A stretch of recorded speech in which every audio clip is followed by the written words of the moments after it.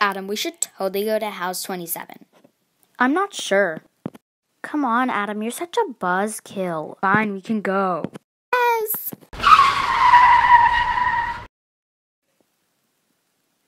We're ready to go.